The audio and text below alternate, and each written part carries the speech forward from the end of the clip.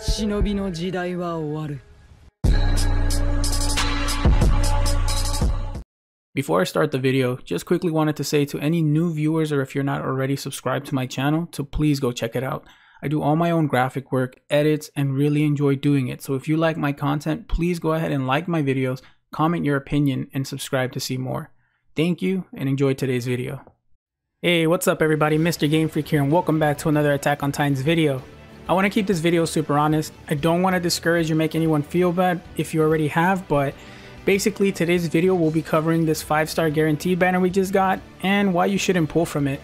As you all know, Ignant Ace and I did a collaboration video where we basically hit some points on what's wrong with the game, what needs to change, and just the landslide of negatives we're getting when it comes to content, rewards, and banners. So if you haven't checked out that video, I will leave a link to Ignant's channel below. Make sure that you like the video, drop a comment, and subscribe. And check out Ace as well. He's making Black Clover content now, and that game is uh, pretty awesome actually. Anyways, let's jump into this banner and see what it has to offer. Alright, so here we go, the 5-star unit gacha banner. Really, I mean, if you take a look at this banner, you, you know, you've got your your regular 5 stars that are in every banner, every time, doesn't matter when it is. I mean, how many times have we seen Rico and this Burt on, on 5-star banners? Like, they're even being featured in their own banners now, like kind of it's kind of dumb. And then you get all the way to the bottom and you get the units that you kind of want, but if you've been playing since October or even before then, you probably already have some of these units. If you don't, then yeah, maybe the incentive is for you to pull off this banner. But really it's not because you need to you need to weigh the odds against you pulling one of these units that you might want against all of these units that honestly, for anybody here to tell me they need another Drive Levi, just go re-roll the game, get all your crystals back, and try to pull off a different banner. Wait until Anniversary or Valentine's Day. Which is hilarious that this 5-star unit banner literally is extending all the way until uh, February 19th. This banner is so unnecessarily placed within the game, like right before Valentine's, right before Anniversary, and it's a slimy move on their part. Seriously, I think this is pretty slimy. Like, you want new players to pull off this banner? Like, if you're a new player and you don't have anything yet, honestly, even pulling off this banner does not benefit you because anniversary is right around the corner. Imagine you're gonna spend those crystals, and you're new, so you don't know this yet, but you could be saving those crystals and putting them towards something that might be a little bit better as far as guarantee, or even a little bit more of a stacked banner than this one. I mean, they got Red Armin with stun here, and then they're showing Levi with the better stun. Like that's kind of that's kind of funky. Like what's going on? And just to put things into perspective, we got this banner like a month or two ago for free on the first pull. That banner was stacked. I'm talking it was stacked. You had one free pull from that guaranteed five star. You had JP swimsuit units. You had Halloween units.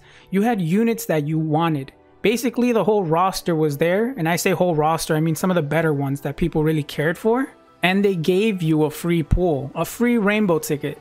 I pulled once off that banner and i got the Eren that i wanted swimsuit Eren for the love of christ. And i never spent a dollar on it. And now they released the banner again with a couple good units with more garbage units around that. So i know you're gonna be guaranteed a five star but you're definitely not guaranteed one of those five or four units that are all the way at the bottom that you really want.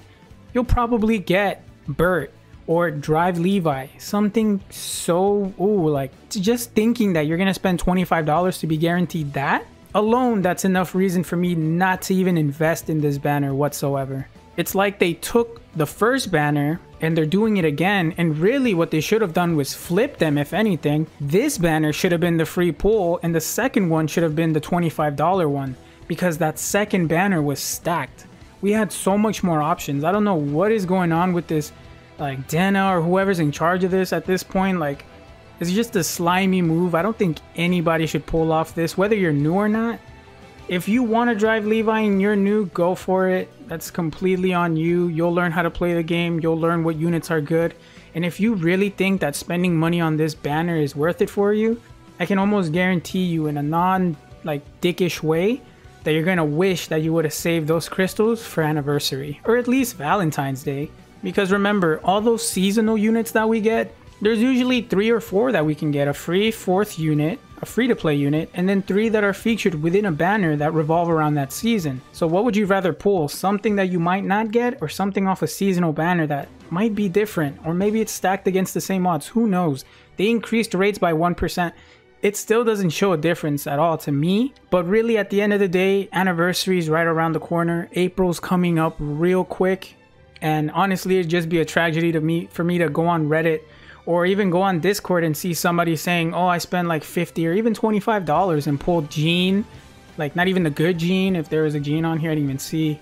Armin or Bert or even this Levi. I'm gonna keep saying Levi because Levi's trash, bro. Drive Levi is trash. Mankind's greatest warrior Levi? that that guy's pretty good. Yes, you want to pull that. It's not guaranteed though. But anyways, guys, enough being so negative. I know it's a negative. Ugh, like I, I hate making videos like this, but it's I just gotta be honest about it. Um, that's about it for the video. If you have anything you want to say in the comments, please keep it 100. I don't care. Or I'm not really, I don't care.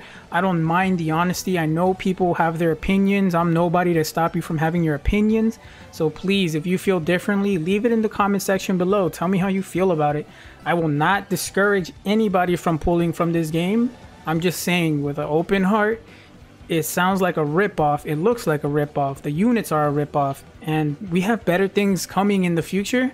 And still, even then, after that, we might get ripped off again for another couple months. So that's it. I'm Mr. GamePhreak. I'm going to cut this video here. If you guys want to keep looking at more videos, I have a playlist going on. I'm trying to grow the channel little by little gaining a couple more subscribers here and there. The traction's finally moving. Thanks to you guys. Really, it's all about the people who watch my videos and support me. So again, thank you guys very much. And if you do enjoy my content, please like, comment, and subscribe. And yeah, I'll see you guys in the next one. Peace.